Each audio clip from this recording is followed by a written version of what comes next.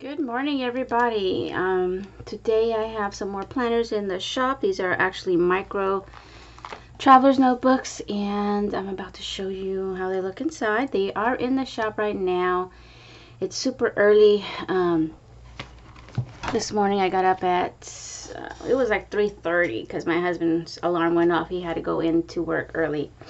I tried to go back to sleep. I couldn't. So 4 o'clock I was up, um, got my coffee, ready to go. I finished these up. All I really had to do was add a few more stickers. Um, but I was actually mostly done last night. And yeah, so let's just get started. They are all exactly the same. I'm going to just do a quick, um, you know, like what I got, where I got some of the stuff from. This material here, it looks similar to one that I've used before, but it's different.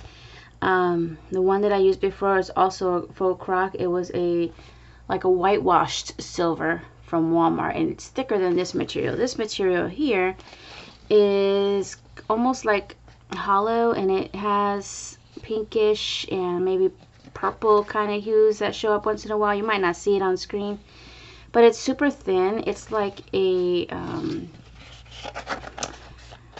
it's almost like paper, like a thick um, specialty paper, but it does it is sold on a, a large spool. It's sold by the yard at Hobby Lobby.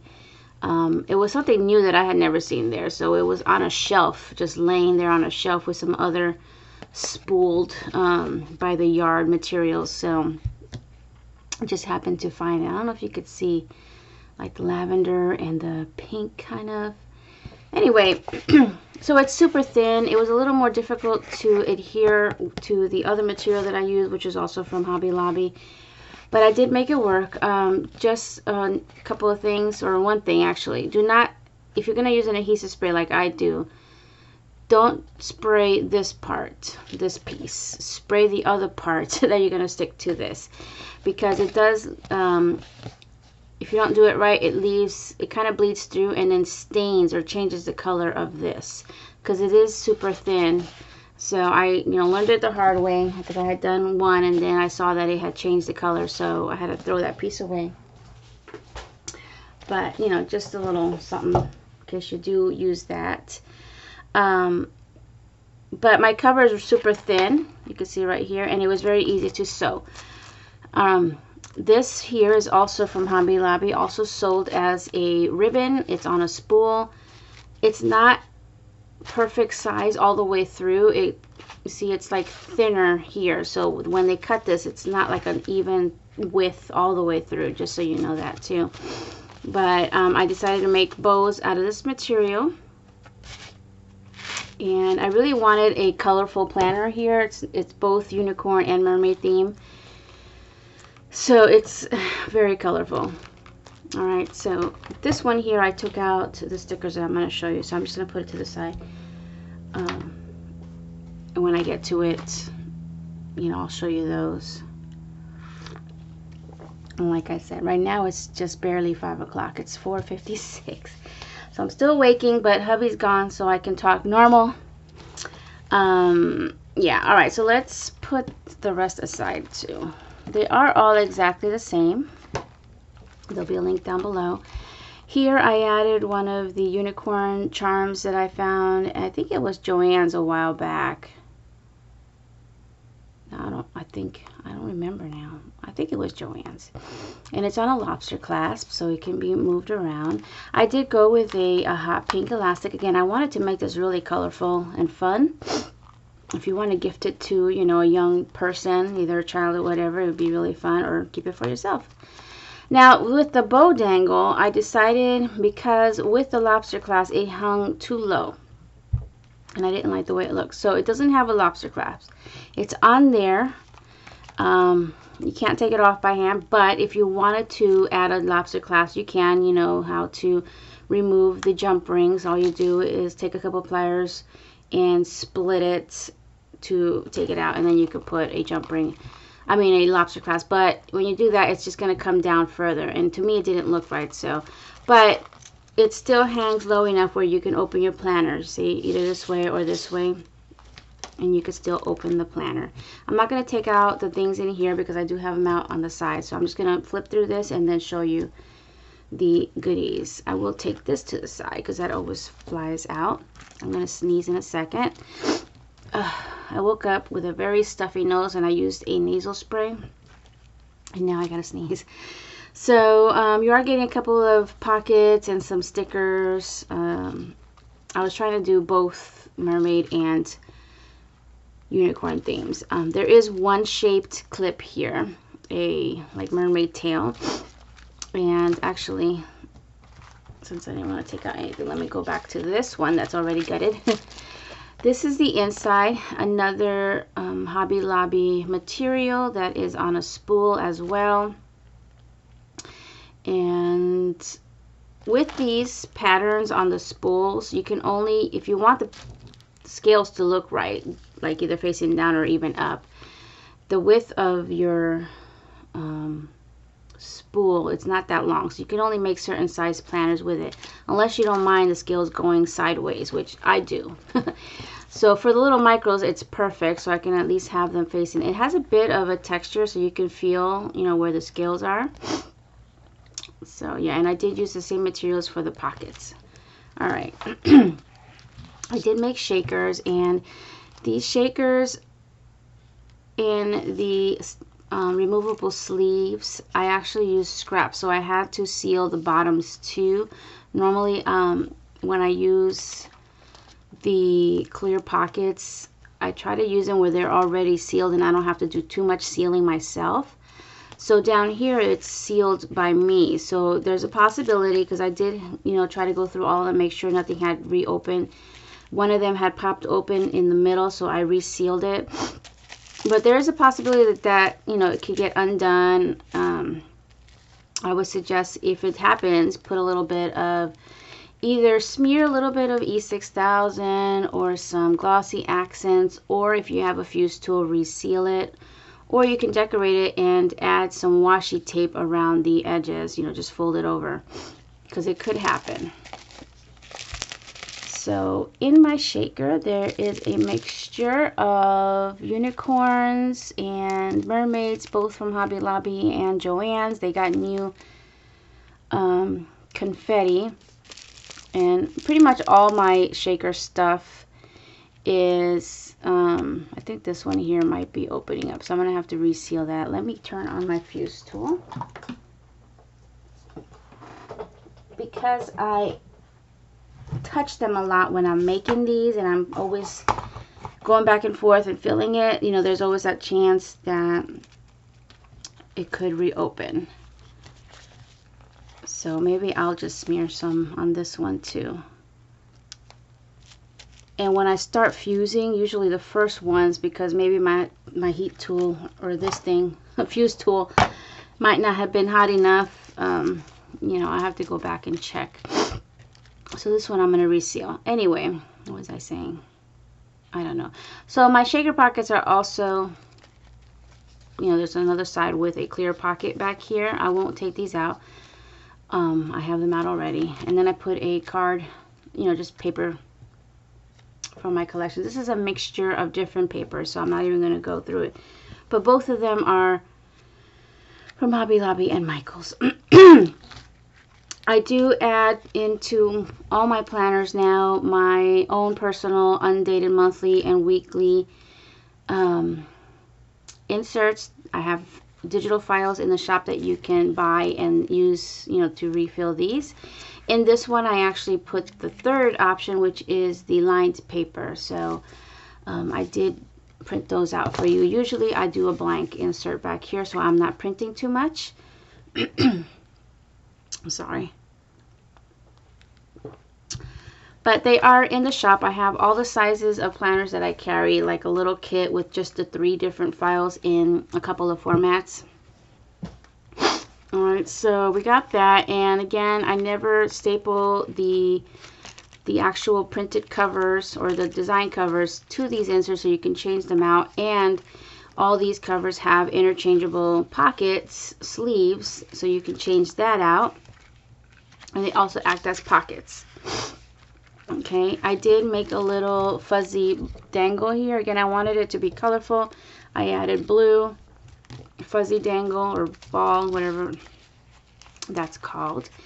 And that's the other side. I'll go through those stickers in a minute. Um, I did make this paper clip and it's a chipboard sticker from Target, either from last year or the year before and I made it so that it could go down far. Since it, you know you might want to take this around with you it will go down and won't stick out too much.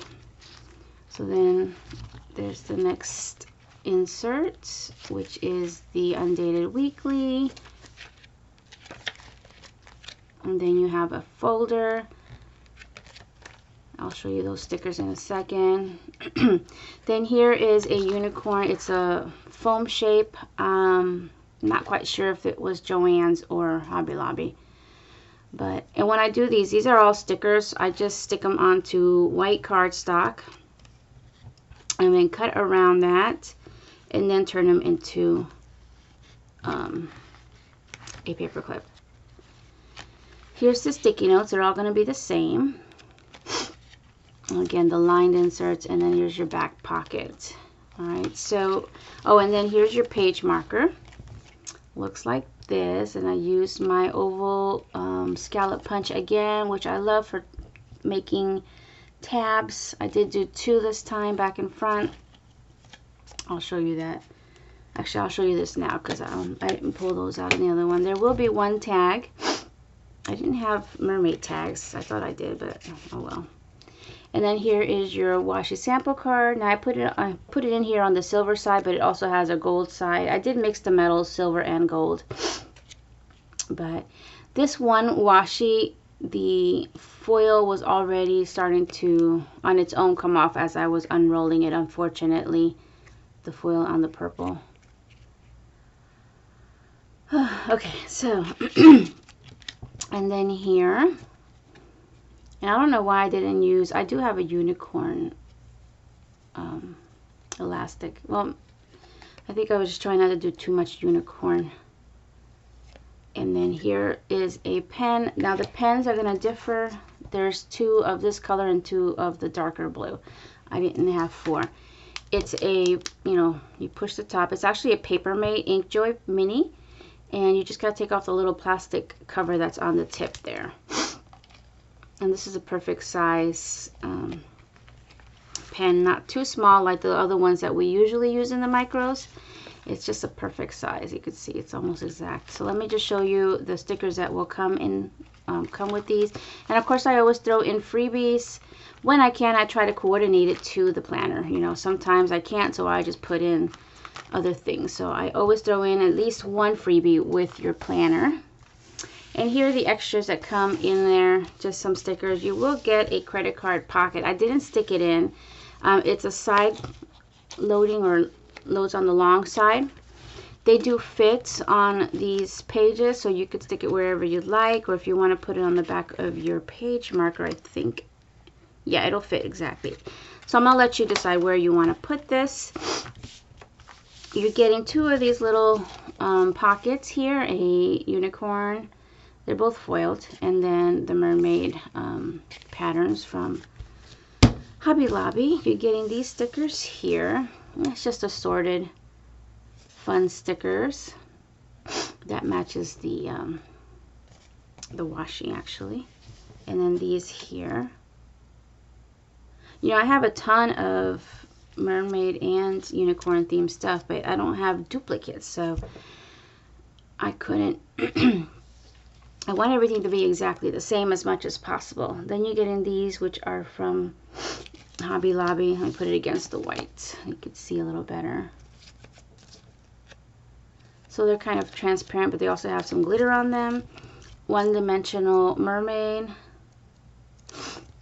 And then these are washi um, stickers from Joann's. So that's what you're getting, and I have them tucked into that one. Oh, I put this in the wrong way that one pocket that goes with the goes with the shaker. Let's get, get this back in. Uh, so these go I mean, you can put these wherever you want. Oh, and I forgot. The metal tail, there's two different ones. Let me see if this one has the other one. Because I didn't have four.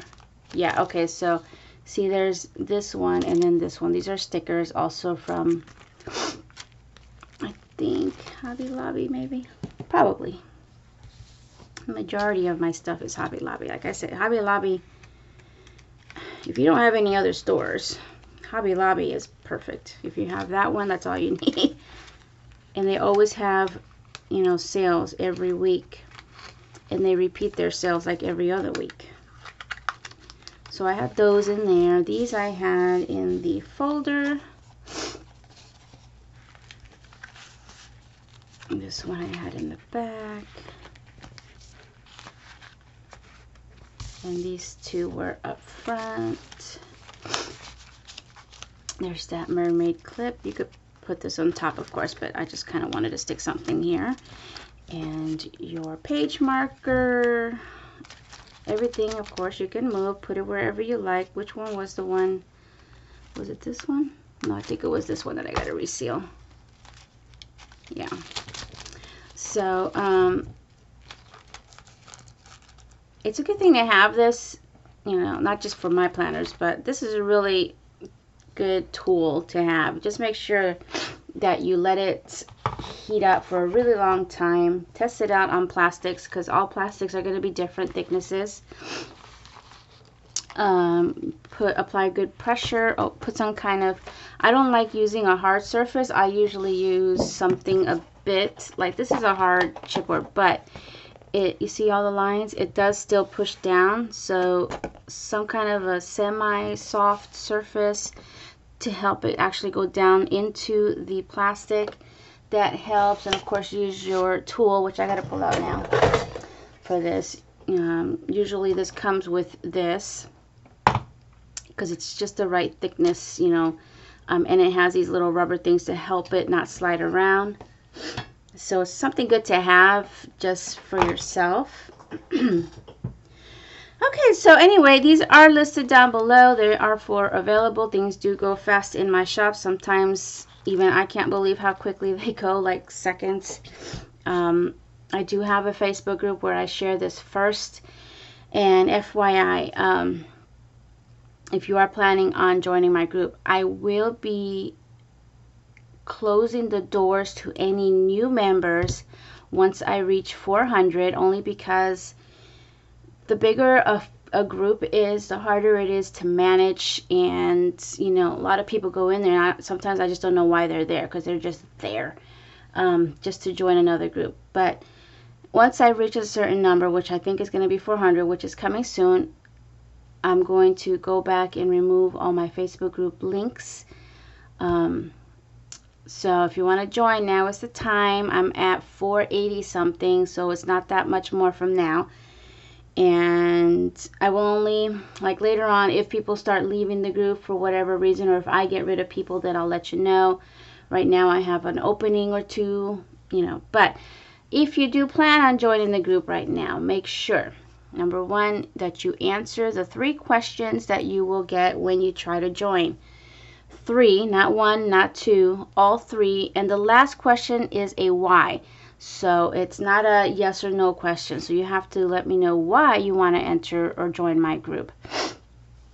I have this group mainly, mainly to give heads up to potential buyers of my planners and other stuff that I sell.